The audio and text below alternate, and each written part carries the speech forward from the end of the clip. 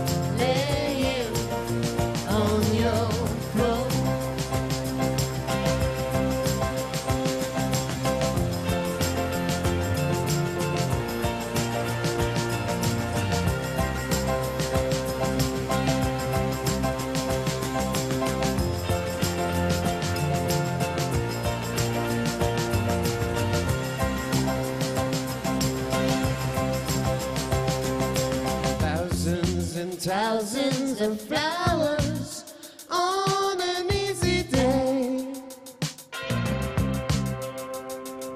Lay down some of those old letters that I never sent you.